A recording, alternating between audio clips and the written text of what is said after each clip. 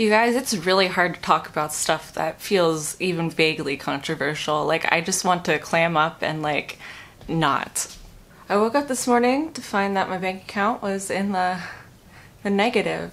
See, see, I got my laundry picked up yesterday and it was supposed to be delivered this morning. And they were like, Your card was declined. So, a little panic. And then I checked the bill and they had charged me to clean 25 comforters. Now, I'm no hotel. I only have one. It's meant to be a little a little rambly because it's been it's been a, a bit of a, a a journey for me to come to this point of accepting that school isn't for me and just being okay with that. So I could take this back to high school. Um, I did online school for a bit and because I had a lot of anxiety about school in general and I guess performance and I don't know I just I didn't want to go to school because it freaked me the heck out. But I went to pre-college at Pratt Institute in Brooklyn when I was 17 I believe. Um, and it was like the best experience because here I was coming from having very little social outlet to spending a month in Brooklyn in the summer with all these other high schoolers who were just having fun and being artsy and silly and it was the best. And so my heart was set on going to Pratt for school because I didn't know anything else and it seemed like magic. Um, so that's what I did, and it was not easy to do. It was not easy to convince my parents that it was worth it.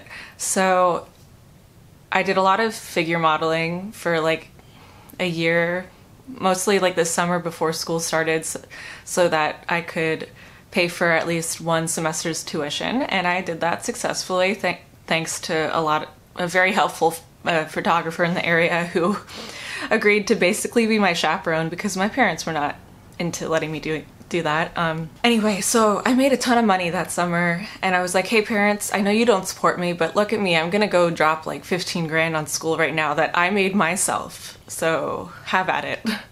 Um, and so I went to school for a year and a half. Um, the first year was foundation year, and I learned so much, and I made so many good friends that I am still friends with today, and I'm very happy for that. Uh, the second year, I went into my major, which was 3D animation, and really not the right major for me. There were some parts of it I liked. Um, I will. I really loved the 3D modeling aspect of it, like creating environments. So I'll put in some photos of my favorite project that I did here. um, like a Cyclops girl bedroom. I don't know, I thought it was cute. I remember one person in the class is like, why is her window open? It, was she kidnapped? Um, no, it, she just wanted a gentle breeze. I left school for a million different reasons, but it all boiled down to just anxiety. And um, so I basically fucked up and and dropped out the middle like the, near the beginning of the my fourth semester. So I really only finished like a year and a half of school. And so my parents were like, "You wasted this money, and we we we trusted you. Blah blah blah. We're not going to pay for another semester. You can't go back." I was devastated. So I basically moved out of the dorms when I when I was forced to because you know I wasn't in class anymore, and found an apartment. And I got a job at a vegan deli where I still work today three years later, I've gone through trying to go back to school like a couple times. I almost went to FIT, um, but I just realized how much I hate Manhattan. Then I almost went back to Pratt just this past fall, but same same deal. I just I I freaked out. So completely honest, like I'm just not set out for that school environment, and it's not something that I feel like potentially risking thousands of dollars starting and then not being able to complete. And I got really depressed about that for a while. I like especially when my friends were graduating last year, it was really hard for me cuz I'm like I that could be me if I had it if I just followed through, if I just worked hard and gotten over my stupid like nervousness and fear, that could be me. I could have a degree and like I thought I'd just be so happy and I thought about like how I was basically just making minimum wage and making sandwiches all day and how terrible that was. But now I've come to this place where I realize that the fact that I didn't spend all that money and that I've been consistently like working on my art has put me in a better place than I think I would have been in otherwise. And um, I've made so many friends at my job, and I'm really happy with all the connections there.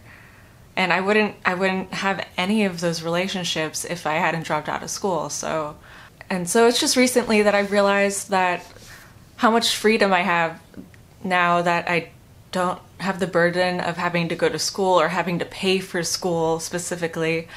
I had this time to figure out over a slow period of time where there was no pressure of classes or or money or teachers to just figure out what it is that I like to do and get semi good at it and just put my free time that's not at work into it. And my work is very low stress, so I don't have to like come home and be too tired. Like I can I can balance it pretty well.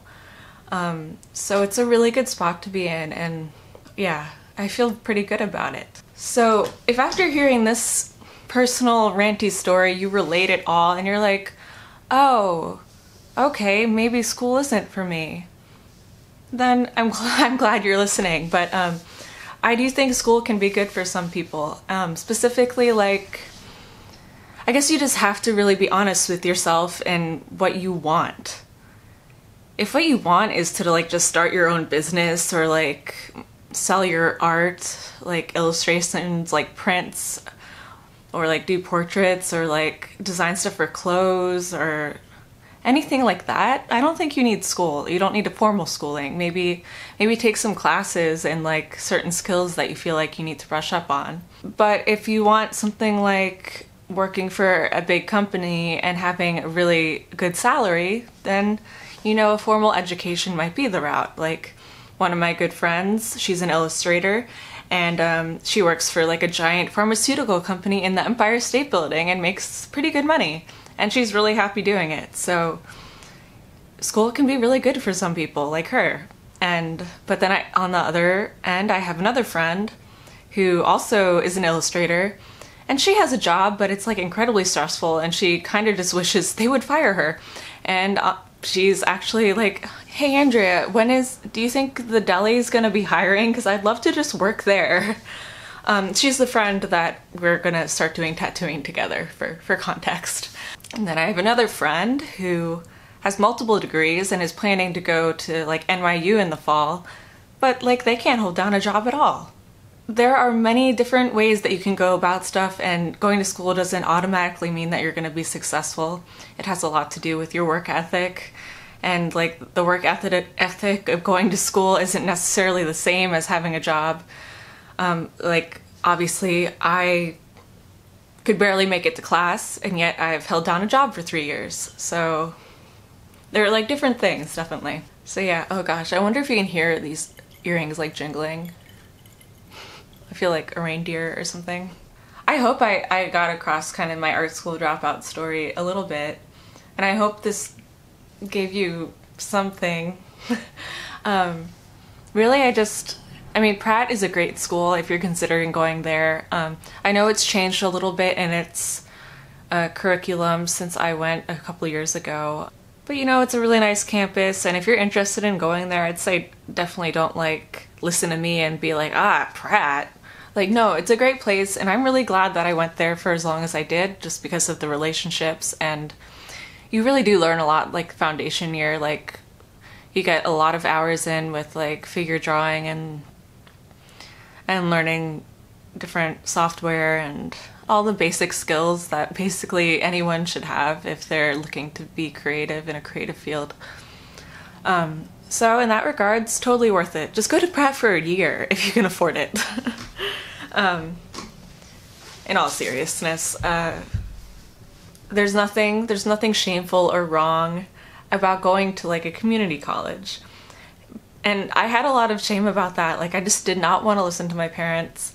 I was set on going to New York and I wouldn't do anything else. Like, I applied to one other school basically just to, um, just to humor them.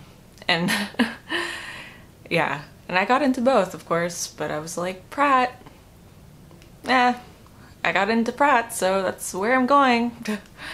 Uh, yeah, I was a very stubborn child, and I'm still very stubborn, but I'm I'm a wise, stubborn person now. At least I like to think so. Anyway, thank you for listening, and if you want to continue following my so, hey guys, I know that was kind of all over the place and I think I touched on a lot of things. But if you have any questions for me about like what I'm doing right now after leaving school, or if you have questions about Pratt, because I did go there for a little while and I know a lot of people that went there for the full four years or even longer, um, feel free to comment that down below. Um, yeah, I'd love to hear from you. So thanks and subscribe if you haven't already. And you can follow me on Instagram at Andrea Charlaine. Toodaloo.